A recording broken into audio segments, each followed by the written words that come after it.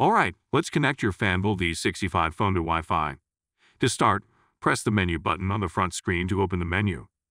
Use the circle navigation button to select the blue gear icon labeled Basic. Scroll down and select WLAN. Press the center circle to enable WLAN, then click OK. Scroll down and select Available Networks, then choose your Wi-Fi network, which in this case is Grandstream. Press the button on the bottom right corner of the screen to link to your Wi-Fi. You will then be prompted to enter your Wi-Fi password.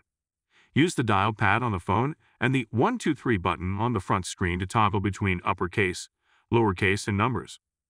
Once connected, a green check mark will appear next to the Wi-Fi name. To confirm you are connected, look for the Wi-Fi symbol on the top right corner of the home screen. Congratulations, you're connected to Wi-Fi.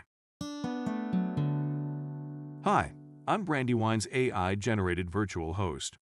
Thank you for watching our tutorial videos, and thank you for choosing Brandywine. We appreciate you taking the time to learn about our products. We hope it helps. If you have any more questions, feel free to reach out to the team.